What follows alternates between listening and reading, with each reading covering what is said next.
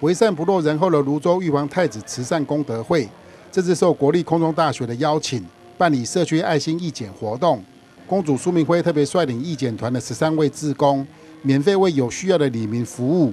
苏明辉表示，泸州玉皇太子慈善功德会旗下的义检师不但技艺超群，也极富爱心，在大家无私的奉献下。今年获得新北市社会局领航奖的肯定。我们玉皇太子慈善功德会成立两年哦啊，也前几天也获得人民团体的领航铜奖哦。那这个门槛也是非常有有一个规格哈啊。我们在这些义检团跟旗下的表演团，还有甚至的一些哈推拿什么义检活动之类，我们都是有相当的制度，也相当有一些纪律。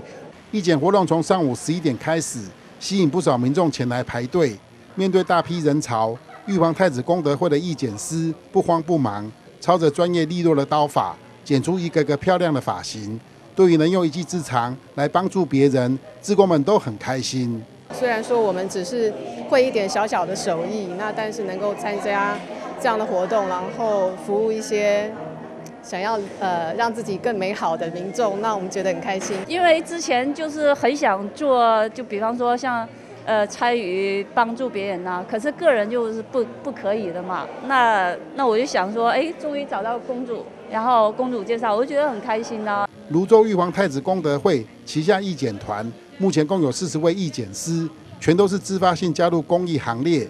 公主苏明辉欢迎志同道合的技师踊跃加入，一起把爱散播到社会的每个角落。记者伦宏、卢颖璇采访报道。